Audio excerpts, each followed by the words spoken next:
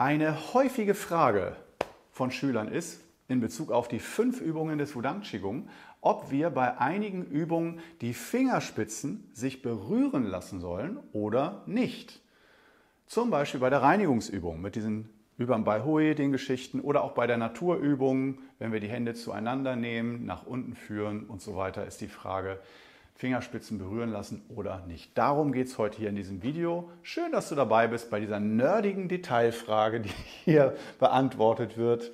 Und ähm, ja, dann legen wir doch gleich los. Äh, das heißt, ähm, ich selbst leite die Vorgeschichte. Ich selbst leite die fünf Übungen immer so an, dass ich die Fingerspitzen bei den Übungen berühren. Ja? Das heißt, äh, nicht die ganze Zeit, klar, wenn wir diese Naturübung, diese Bewegung, da berühren sich die Fingerspitzen nicht. Aber wenn die Hände zueinander kommen, auf verschiedenen Ebenen, ähm, dass sich dann die Fingerspitzen, meistens nur der Mittelfinger oder manchmal auch von mehreren Fingern, berühren. Und ähm, selbst im Wudang-Gebirge habe ich oft gesehen, dass sich da die Finger von den Tai Chi-Meistern nicht berührt haben, dass sie so kurz voreinander waren. Und einige Schüler sagen dann, hm, für mich fühlt es sich nicht gut an, dass sich die Fingerspitzen berühren. Ich habe die lieber im geringen Abstand zueinander.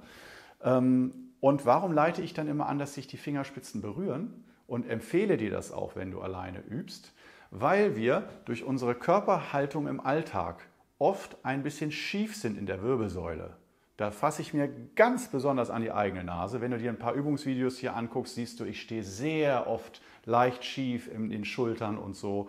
Das liegt einfach durch normale Alltagsgewohnheiten.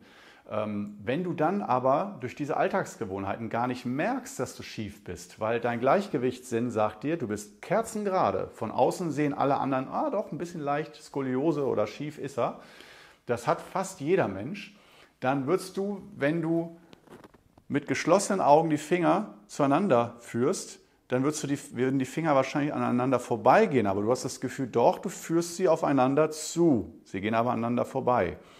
Und wir versuchen ja eine Art von Symmetrie und Gleichgewicht aufzubauen. Und daher empfehle ich der Einfachheit halber, dass du die Fingerspitzen sich immer berühren lässt, weil du dadurch symmetrischer bist. Wenn du zum Beispiel diese Bewegung machst, die Fingerspitzen berühren sich, bist du im Zweifelsfall symmetrischer, als wenn du die Finger einfach nur so hältst und du merkst dann auf einmal äh, von außen, siehst du das, oh, das ist ganz schief, aber du fühlt sich für dich sehr gerade an.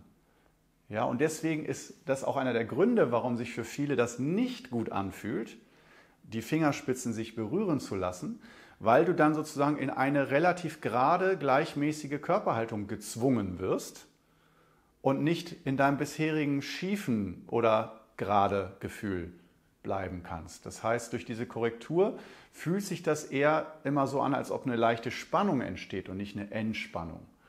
Und da sind wir wieder bei dem Knackpunkt. Das heißt, wenn man erstmal anfängt, denkt sich, das ist doch egal, Fingerspitzen dieser Zentimeter, das ist doch kein Unterschied. Doch, weil wir dadurch zu einer Korrektur kommen, die Spannung erzeugt.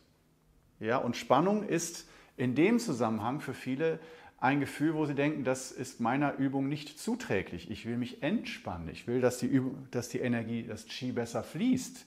Wenn ich mich aber zur Mitte hin korrigiere, in eine ungewohnte Körperhaltung, normal schief, entspannt, gerade in die Mitte, ungewohnt, dann ist dieses gerade nicht, ah, jetzt bin ich gerade, sondern ich bin unter Spannung, es ist anstrengend, es ist nicht mein entspanntes Körpergefühl. Und dann denkt man, das ist falsch, denn ich brauche Entspannung.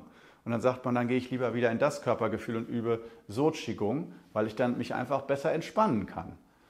Ja, und das ist dann die Krux oder genau die Frage, wo ich dann dringend empfehlen würde, ähm, sich zu vergegenwärtigen. Das dauert nicht für immer und ewig, sondern das dauert ein paar Tage oder Wochen, dass du dich an eine geradere Körperhaltung gewöhnst. Und dieser Gewöhnungsaspekt, der dauert ein paar, wie ich sagte, ein paar Tage oder Wochen. Und da fühlt es sich dann eher nicht so stimmig an.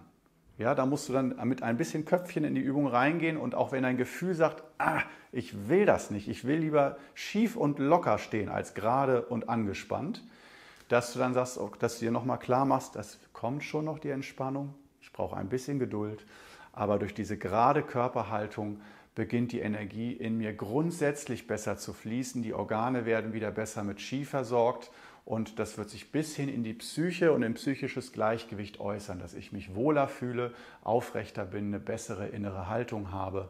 Und das spiegelt sich bis ins Denken und ins Fühlen wieder. Also ich wollte gerade sagen, flehe ich dich an. Nee, so weit gehen wir nicht. Mach, wie du denkst. Aber mein Tipp ist ganz stark, geh lieber ähm, durch diese, diesen kleinen mühseligen Umweg, ähm, auch wenn es sich im ersten Moment nicht unbedingt stimmig anfühlt und äh, nutze diese Hilfe. Und wenn du wirklich weißt vor dem Spiegel, dass du kerzengerade bist, dann musst du tatsächlich nicht die Finger sich berühren lassen. Aber vielleicht bin ich auch nur ein besonders schlechter Qigong-Lehrer oder ein schlechtes Qigong-Beispiel. Aber selbst nach 20 Jahren, wenn ich einfach nur ein paar Stunden auf dem Sofa gesessen habe oder irgendeine Arbeit am Schreibtisch, ein, zwei Stunden oder sowas und mich dann hinstelle, dann merke ich, da sind immer Mikroschonhaltungen, die sich ergeben haben und dass ich dann leicht schief werde und mich die Qigong-Übung dann von Durchgang zu Durchgang wieder langsam gerade rückt. So, also selbst mir, ich kenne das auch, passiert das auch. Gut, ich hoffe, dir hat dieses, dieser kleine nerdige Hinweis geholfen und dann sehen wir uns hoffentlich im nächsten Video wieder. Ich freue mich auf dich. Bis dann. Ciao.